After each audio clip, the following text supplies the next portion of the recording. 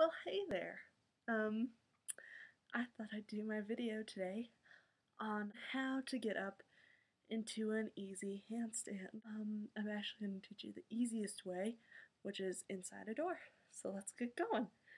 Obviously, the goal of a handstand is to be able to get into it um, in the middle of any room, but today I'm going to show you how to do that using a door, which is actually really, really fun and really, really easy.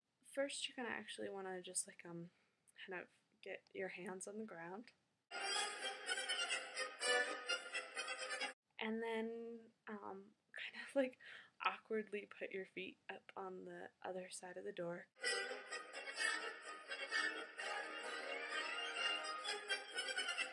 Then just push up onto your hands.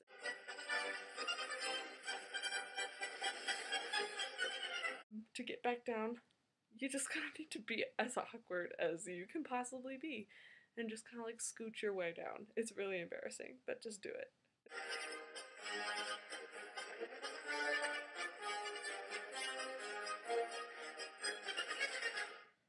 Alright, well that's it guys. Um, I hope you all go home and do a handstand.